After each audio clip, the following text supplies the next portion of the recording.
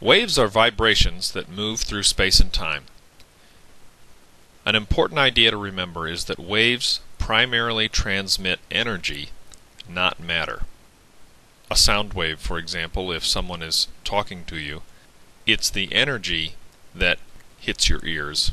It's not the breath of the person who's talking that's hitting your ears. So, waves primarily transmit energy, not matter. We can define a medium as the matter through which the energy of mechanical waves moves. In other words, mechanical waves require some physical medium in order to travel. Light is a wave that does not require a medium. Therefore, light is not a mechanical wave. In transverse waves, particles of the medium move perpendicular to the direction of wave travel. If we had a rope that was attached to the wall and we're holding the other end of the rope and shaking it up and down, the rope at any given instant might have a shape like what we see here. The top of that rope be considered the crest. The bottom is called the trough.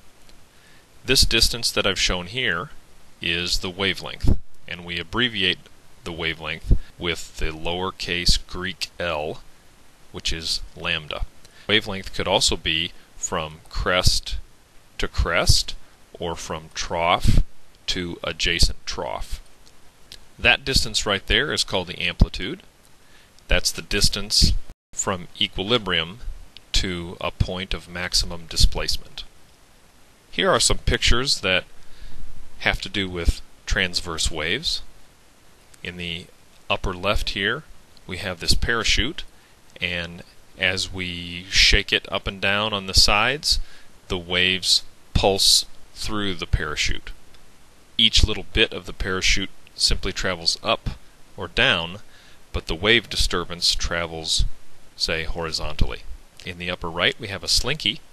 Same thing. We are shaking the slinky back and forth, so each little link of the slinky just goes back and forth while the wave disturbance travels along the slinky, perpendicular to our shaking it. Down in the lower left, if you have ever been a part of the wave at a spectator sport event, you know that you stand up and sit down, but the wave disturbance travels horizontally. So, that's what we mean by a transverse wave, where the medium goes up or down, let's say, and the disturbance travels horizontally. A longitudinal or compressional wave is one in which the particles of the medium move parallel to the direction of wave travel. Each particle experiences a jostling back and forth motion.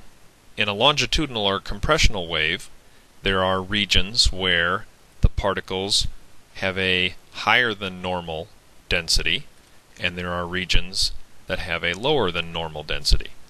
The higher than normal density regions are called compression regions, and the lower than normal density regions are called rarefactions. These rarefactions and compressions travel along with the wave disturbance. They don't stay fixed in one spot, they travel as the wave travels. Longitudinal waves also have wavelengths.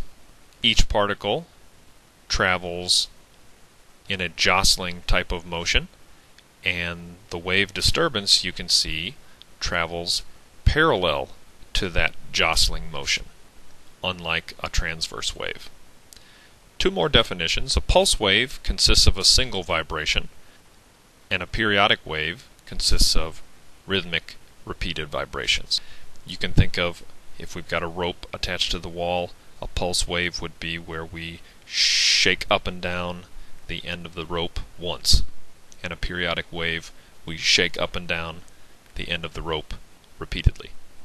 And here are some pictures that relate to longitudinal waves. In the upper left, you can see the pressure wave of this explosion where the air particles are closer together than average. This slinky is being pushed back and forth, back and forth, back and forth, and the wave disturbance is traveling, say, to the right, and the jostling is forward and back, forward and back, forward and back, forward and back. You can see right here on the right that is a compression region, and in here we would have a rarefaction region. Or if someone is in a long line and someone in the back of the line bumps hard into the person in front of him or her, then that disturbance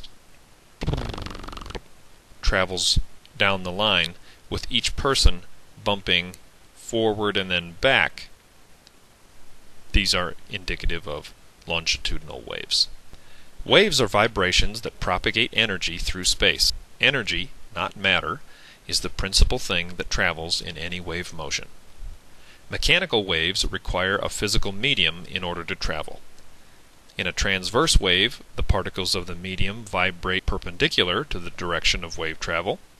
In a longitudinal wave, the particles vibrate parallel to the direction of wave travel.